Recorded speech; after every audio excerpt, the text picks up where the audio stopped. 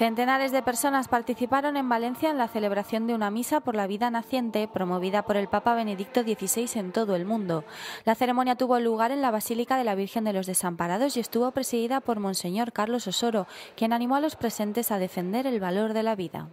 Todos nosotros, todos los cristianos, todos los discípulos de Jesús,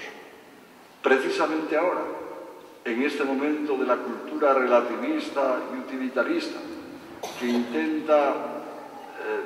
hacer perder la dignidad de la persona humana, cualquiera que sea el estadio en que éste esté desarrollándose, precisamente ahora se tiene que manifestar en medio de este mundo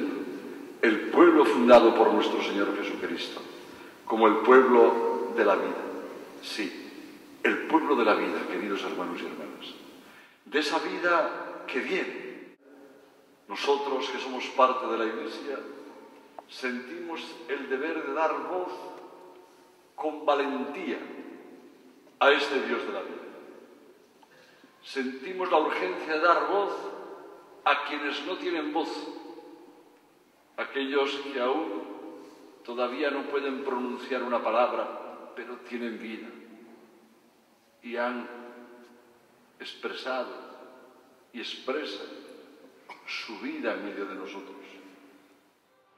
El encuentro estuvo preparado por la Comisión Diocesana de Familia y Vida del Arzobispado y por la Confederación Católica de Asociaciones de Padres de Alumnos, la CONCAPA.